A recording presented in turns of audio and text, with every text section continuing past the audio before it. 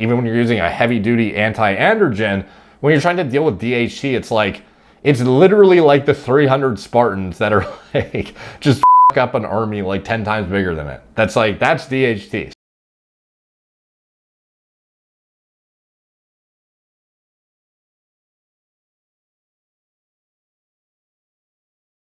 What's up guys, Derek, moreplatesmoredates.com. Today we're going to be going over a before and after of RU58841 on its own. So this is actually um, not that common for guys to be running it solo and have a good log of before and after pictures. Usually guys are using RU with something else on top of it. Most people most people aren't running it monotherapy as well as having good before and after pictures. So it's good to see another log come up of RU and very few people just like really do it properly. And I'm not to say that you should run it on its own. I'm just saying that it's quite rare that people run it solo for fucking three months straight with adding nothing else in there when they're like fairly far gone. Like this guy um, was uh, nice enough to send me his results. Like I've mentioned many times now at this point that people, when they have interesting findings or their own personal results, they will send them to me over direct message, email, whatever it is. And if I think it's a you know, like a good enough uh, case report, I'll make a video about it. So for this guy, so he messaged me today and said, thought I would share this with you, considering I don't see very many anecdotal reports on RU58841. I hit the 90 day mark today of 100 milligrams of RU58841, which is 100 milligrams per day is a reasonably high dose. Like once you get to the triple digits, you're kind of in, like again, there's no cemented like dose. It's, we're just kind of like going by extrapolated research figures that we've used in the community. But 100 milligrams is generally, the general consensus is that it is a reasonably high dose. Um, like most people are using like 50, 75 milligrams, 100 is like, okay, you're high kind of thing. So he mentioned, I have experienced no systemic side effects whatsoever. Both pictures are taken at the same angle with the same lighting. Feel free to share this with your viewers if you think it might help them out. So as we can see here on day one, obviously pretty significant recession in diffuse thinning. Um, definitely needs to intervene pretty damn aggressively to probably get back to a good baseline. Um, and then here, day 90, all of a sudden, um, still, it's not like he's recovered his hairline necessarily, but the diffuse thinning is significantly improved to the point where if you weren't looking at it from like a bird's eye view, the recession would not be as severe looking and it wouldn't be that bad compared to like this is pretty significant of a difference in my opinion for just um like I wouldn't say this guy's a hyper responder to RU, but I'd say he's a pretty good responder to have it like that much of a change in 90 days with just that intervention, like that's a pretty fucking good response. So, um, like obviously it's not gonna regrow his whole hairline. It's not gonna reverse the entire process if you let it get to this point to begin with. I would assume that this guy would probably get pretty damn close to um, baseline with some like a more comprehensive protocol that involves 5-alpha reductase inhibition as well as minoxidil, microneedling, etc. Um, the fact that he responded this well to RU bodes well in his favor for the other interventions compounded on top of it. It's unlikely that he would even need to use like more like nuclear treatments or like experimental things above and beyond RU, which is obviously experimental in itself. But responding this well to a topical anti-androgen is uh, very, very bodes very well for him in terms of his responsiveness to um, treatments. And the fact that he had no side effects at 100 milligrams, that's quite good because some people do experience systemic side effects with RU. It's not common, but it definitely does happen. As far as what RU is, by the way, I talk about it a lot, but some people might who are new to the channel might have no idea what it is. So basically, the two main mechanisms by which you would deal with androgens for androgenic alopecia is typically going to be mediated through inhibiting 5-alpha reductase, which you're probably familiar with with finasteride or dutasteride, which wipes out DHT only, but does absolutely nothing to deal with scalp testosterone, or you use a topical anti-androgen or something else that binds the androgen receptor. And what this does is it competes with testosterone and DHT for androgen receptor activation or just binding in general. So this is where a more comprehensive protocol can be achieved by inhibiting 5-alpha reductase as well as um, occupying androgen receptors in the scalp and blah, blah, blah. You can get a more comprehensive protocol via that extra vector because if you are inhibiting DHT creation, DHT is one of the hardest to deal with androgens. It has a very high binding affinity, um, dissociation rate relative to other androgens, and it ends up uh, it's quite difficult to compete with for AR. Like even when you're using a heavy duty anti-androgen, when you're trying to deal with DHT, it's like, it's literally like the 300 Spartans that are like, just fuck up an army like 10 times bigger than it. That's like, that's DHT. So ideally, if you could inhibit the creation of DHT with the 5AR inhibitor, then that's where it becomes a lot more easy and manageable to deal with the rest of the androgens up here, the residual amount of DHT and or the scalp testosterone, with something with a formidable binding affinity to the testosterone because you no longer have to deal with the 300 Spartans on this side. So that's sort of where like the comprehensive in conjunction approach comes with 5AR plus an anti anti-androgen. So as far as RU, it is a non-steroidal anti-androgen. So this is um, important to note because there are more than one class of anti-androgens. One is uh, the steroidal anti-androgens and one is the non-steroidal. And as far as how you classify that, it's more or less just their chemical structure. So non-steroidal anti-androgens have essentially phased out steroidal ones, at least um, in terms of overall efficacy relative to their side effect profile. And the reason being is they have little or no capacity to activate the AR, while steroidal antiandrogens are essentially a steroid that binds and activates it to some extent and actually has satellite interaction with many other receptors in the body, such as can have like progestogenic activity, can interact with the glucocorticoid receptors, the mineralocorticoid receptors, all this shit that you like don't want in your antiandrogen because it's far less predictable when you have all this satellite interaction. Whereas with a non-steroidal antiandrogen, it's literally just like moot activity. It just like binds and just like does fucking nothing. It doesn't agonize the receptor. It doesn't have satellite interaction with other receptors that you have to account for that cause other downstream cascades and side effects that you have to, you have no idea what the fuck is going on. So, and it, in addition to that, it doesn't possess any anti-gonadotropic effects, whereas with steroidal antiandrogens, one of the main ways by which they work so potently is by literally decreasing androgen production. So as so like a steroidal antiandrogen binds to the AR, AR agonizes it a bit, provides some sort of negative feedback that actually lowers your testosterone production.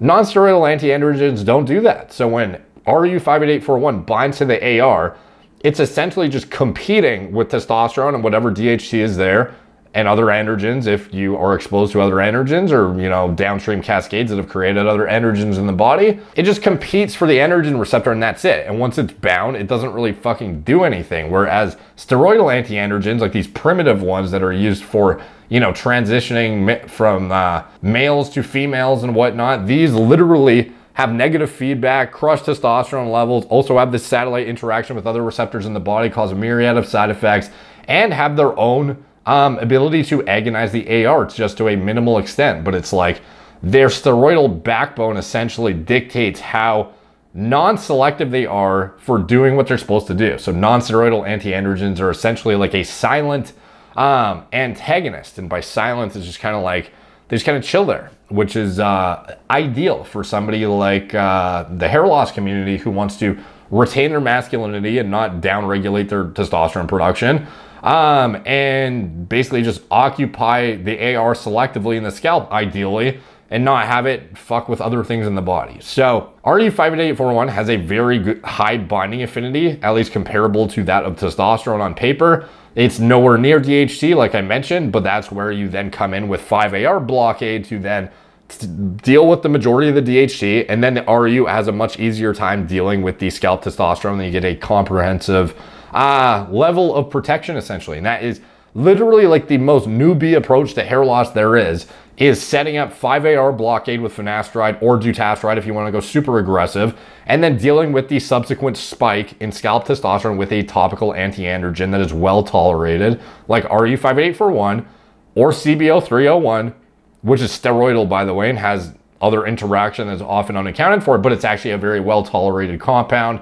and has human data to reinforce its efficacy and safety. So that's where it sort of shines above RU, even though it is much less potent milligram for milligram, and RU is more readily available and cost effective and just potent in general as of right now. And then there's also things like Fluridil and other anti-androgens that are starting to uh, um, increase in popularity over the years. Interestingly enough, like Fluridil, so many people have been asking me about it. I'm like, wow, like this shit has really like resurrected itself because it's it was like pretty much phased out of existence not that long ago. Like for years, no one really even like talked about it because they just most people know in the community that milligram for milligram, it's worse than RU, at least from what I've seen. And if you want to get into, well, like it's so well tolerated, it's like, well, that's what CB is for then. If you want to get into what has the most human safety data behind it as a well tolerated anti androgen clinically, that's where you get CB. If it's, uh, and like honestly, it's, just as accessible as Fluridil. Like as far as I know, it's like harder to get Fluridil than it is to get CB nowadays. So, and CB is going to be FDA approved soon, hopefully for androgenic alopecia, and then it'll be easier to get. But anyways, like if I was to look at like risk profile wise, if I'm like, what's the best bang for my buck? Are you? What is the most like overall like well tolerated compound? might not be the most potent one, but it's the most well tolerated, has the most safety data, has the most blah, blah, blah, is actually like going to pass through clinical trials. That would be CB. So it's kind of like your own decision between those two in terms of what the first line of defense topical anti-androgen would be, at least in my opinion. And above and beyond that, you can get into the more aggressive options through the AR vector, but those would be the first ones I would look at personally in conjunction with 5-alpha reductase inhibition. That's like the most newbie, well tolerated thing you could fucking do. That's going to halt hair loss for a significant amount of individuals. And fortunately for this guy, um, he didn't even need to inhibit 5AR, which is honestly um, awesome. Like for him, fuck, because a lot of people do actually. It can be quite like when you get to the 100 milligram plus dosage area, it's like it's like yeah you can probably start to like actually be able to deal with the the 300 army that is DHT to a reasonable extent but it's like it's sort of the approach I sort of took I used to have that same mindset too was like oh I'll just mega dose fucking RU until I've dealt with every anti every androgen on my scalp and then I started to realize it's like okay so I have this like experimental anti-androgen. It's like well it's well tolerated in me. It's still like a risk when you're using it. So could I, do I want to megadose a topical anti-androgen to deal with all the scalp testosterone, all the scalp DHT, all of the androgens, or do I want to have a well-tolerated fucking like tons of clinical data backing the safety of a reasonable dose of a 5-alpha reductase inhibitor to wipe out a big chunk of the DHT and then allow me to take my topical anti-androgen dose up from like a mega triple digit dose down to a more reasonable level to achieve the same or probably better level of overall protection, but with a more reasonable dose of both things in tandem. So that is where I sort of like, you know, reorganize my thought process in terms of what like a basic newbie comprehensive approach would be. And I think it involves at least some level of 5AR blockade with some level of topical anti-androgen to achieve a compounding level of overall protection from all, andro all androgens, but with a relative lack of side effects because you're not just aggressively mega dosing in like the experimental research chemical vector. So that is sort of like the, uh, the newbie approach to dealing with androgens, to be honest. That was a good uh, little introduction there. Kind of went on a tangent. I was just going to show this guy's results, to be honest. But I think that was a good, like, little educational segment about how anti-androgens work, um, why you would choose one or the other, um, kind of the newbie approach to 5AR inhibition, as well as topical anti-androgens in conjunction with one another.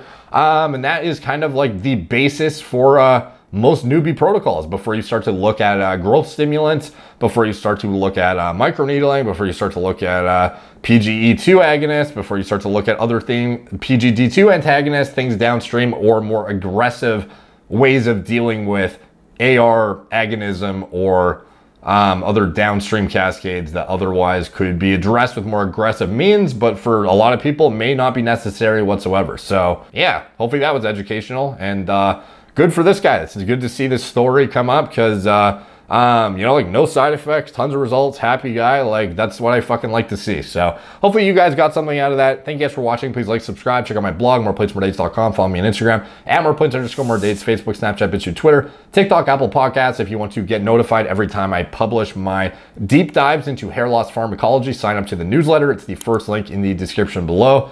And you will not get sent those updates if you don't sign up. So I highly recommend you do. A lot of incentive to do so. If you want to support the channel, you can check out anything I'm associated with in the video description below. My uh, TRT clinic, the pharma grade hair loss medications I use myself, um, Gorilla Mind Nootropics, Gorilla Mode pre-workout formulas I designed from scratch myself, as well as anything else I am associated with. It's all in the video description below. So thank you guys for watching. Talk to you soon.